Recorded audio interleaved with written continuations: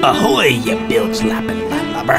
Hath ye the fortitude for another horn-swaggling craft and adventure? Keep your boots on deck, because in this here episode of Gameyy Builds, we'll dredge the depths of Davy Jones' locker to recreate the most dreadful of beasts, the old croc clock that took the great Captain James Hook. Savvy? After heading towards the second star to the right and straight on till morning, I began my rubbish reptilian recreation with a blueprint. I'm referencing these stills taken from the movie to get the side view, then struggling to extrapolate the design to a frontal view, exposing my subpar artistic skills in the process. And yes, I'm back to sculpting with polymer clay because apparently I haven't learned my lesson even after multiple failures. I also purchased this assortment of clay working tools recently because, as they say, a poor workman always blames his tools, so collect as many scapegoats as possible. But before we dive into this gray mess, I needed to make an aluminum cucumber to serve as the croc's core. All done. And just kidding. But once the core was complete, it looked like this, which makes this the second time in recent memory that I've made something that resembled Jabba the Hutt. Next, it was time to cover the metal in croc flesh, so let me just slice into this one pound block of. Uh, slice into this block of. Oh, this is professional grade clay. I think the stuff I was using before was toothpaste. I had to warm this stuff up quite a bit in my hands to make it pliable. I continued this process section by section, and in building this four-legged beast I was visited by another, though this one was mm. slightly less scaly and slightly more cute. And I think this is what this tool is meant for, though this ball on the end is solid metal, and it really makes me want to chuck it off a cliff.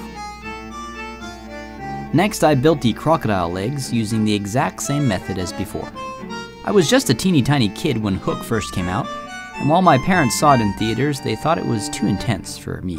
Not the sword fighting, or the guy getting thrown into a chest with scorpions, mind you, but this scene here. Yes, show me your fastball, dust brain. You paunchy sag bottom puke pot.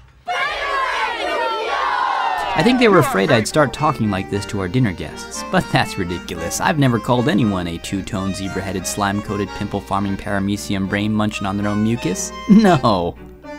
And part of what makes crocodiles so darn cool is the fact that they're born wearing crocodile skin boots, which I'm making here with balls of clay. I then flatten them, slice them up to make toes, then smoothed out the rough bits, then roughed up the smooth bits. For the tail, I added these ringlets. This idea came from this video, which was the extent of my crocodile sculpting research prior to building. It was at this point that I realized my crocodile was awful tipsy, which is no doubt the side effect of eating too many rum-soaked pirates. Why is the rum gone? So to hide his drinking problem, I sat him aboard a board and drilled screws into his body. Then I discovered the use of this tool. Normally I'd just use a random edge for this, an X-Acto blade, a metal ruler, my fingernail, but this is way better. As great as my tool pack was, it was missing something to help the crocodile's scaly texture, so I made my own. I cut and then hollowed out this toothpick at one end, and I repeated this with a Q-tip. And another plastic tube from a mechanical pencil, thereby giving me three sizes of straws. For the wart-like protrusions, I pressed tiny specks of clay into the skin, then to complement that look, I used my homemade tube tools to make scaly indentations. It doesn't look great here because I was still experimenting and learning, uh, but it'll get there. Kind of. What I eventually realized is that less is more, and that just a few raised pimples surrounded by various shapes and sizes of acne scars looked much more natural. And with all that done, it was time for these dorsal plates running up and down the croc's spine.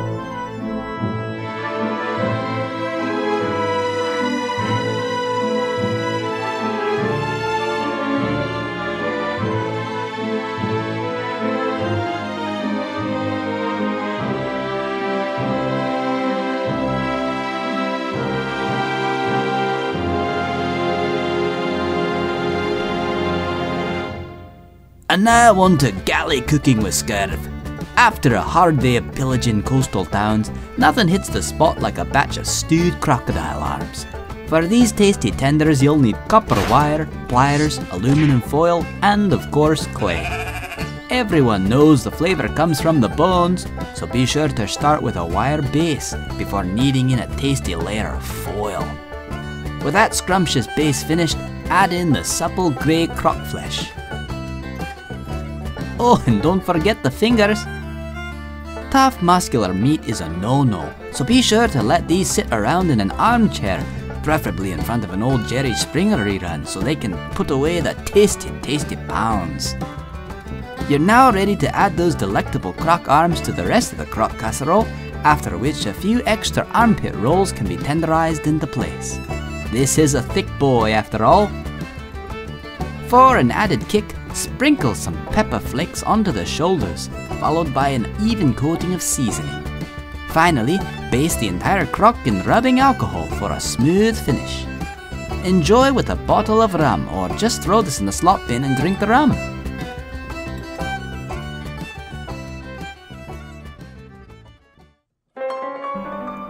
I saved the head for last, first making a tiny ironing board for the bottom jaw, then building up layers of clay. I had that blueprint on hand for reference, but the end result was still too big, so I don't know why I bother with these things. I then gave the jaw a bit of character with these creases and scars and dents, all of which are pretty standard crocodile jaw features. Then come the scales as per my usual methods. You're probably tired of seeing this by now. With the top and bottom jaws done, I attached them to the aluminum by pre-drilling a hole and then skewering it like uh, Rufio. And after just a bit more detailing, I added the bottom jaw.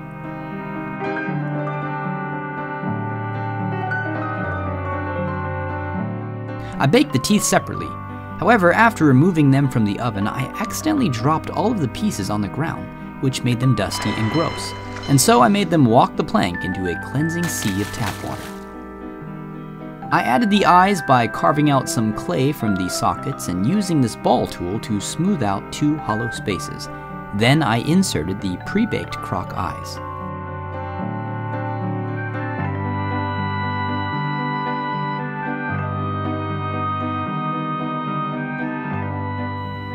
Lastly, I put in the teeth.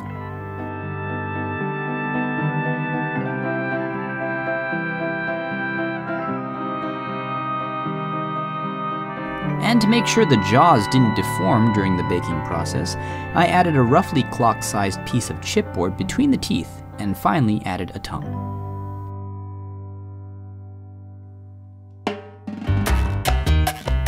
After baking my crocodile to the hardness of cooked lobster, I primed him in light yellow for a base color, then added various shades of greens.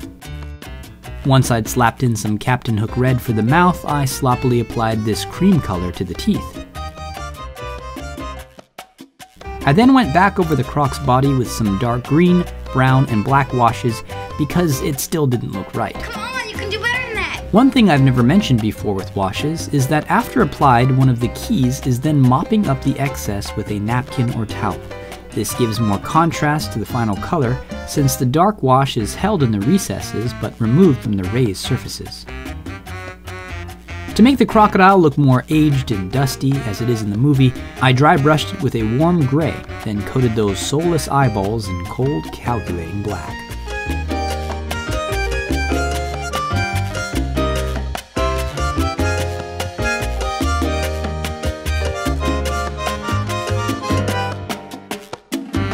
As for the base, let's not even talk about how long it took to razor blade my way through this 3mm chipboard or how non-circular it turned out.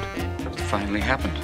I'm having a total nervous breakdown. So I went for cheaper, more flimsy cardstock for the other side of the base's foam core sandwich and glued it all together. It looked pretty terrible, so I sanded down the rough edges for a more circular shape. Next, I coated the base in a mixture of paint, Mod Podge, and baking soda.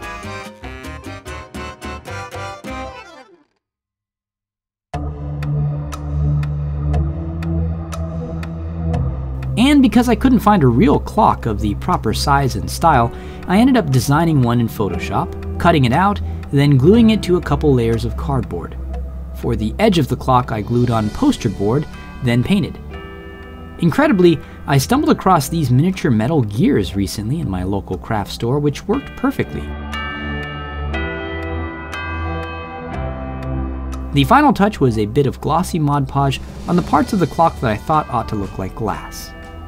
After removing the croc from his temporary base and screwing him into his permanent one, then adding those large leather straps that I guess hold him in place using poster paper, I began building the wooden clock tower around him.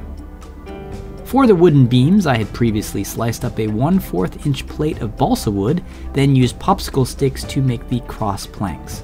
To give the planks an old wood texture, I scraped them with a pushpin and cut into the ends with a sharp X-Acto blade. How sharp, you ask? This sharp. I then added a dark brown wash to all of the wooden planks and beams, then dry brushed on some color.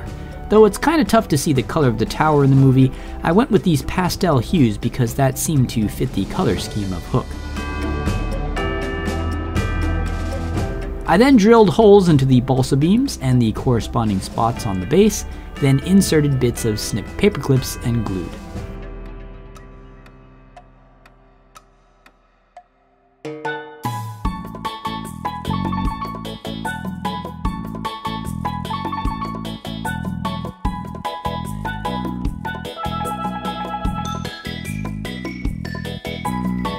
Cross beams were then superglued in place.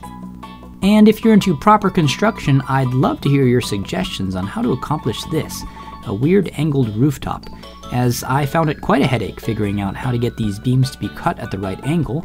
I don't think the end result is terrible, but it certainly isn't great either. And for the thatch roof, I'm using raffia, and once it was in place, I weathered it up with a brown wash.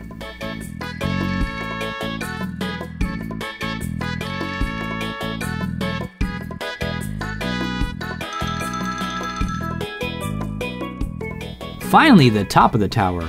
Like an elevator of mediocrity, the higher we go on this tower, the shoddier this craftsmanship gets.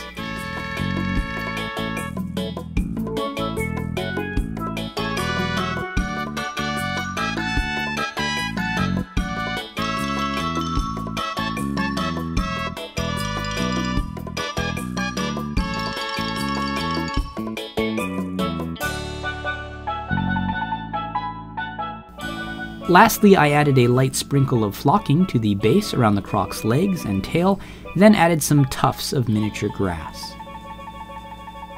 And that was that. Oh wait, no it wasn't, I totally forgot to add the clock. And the ropes that bind the planks together, which I made from unraveled lengths of twine held together with white glue, and that was that. For real, this time.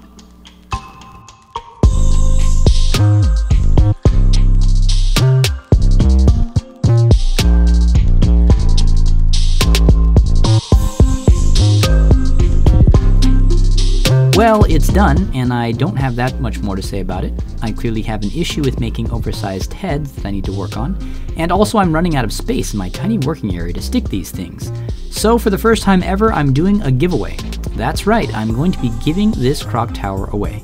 If you want it, just leave a like and a comment on this video and be sure you're subscribed to the channel. When my next video drops, I'll announce the winner and ship it out to you. I'll put some other tiny stipulations in a pinned comment under this video, so be sure to read through that. So until next time, this is Gameyy Builds, over and out.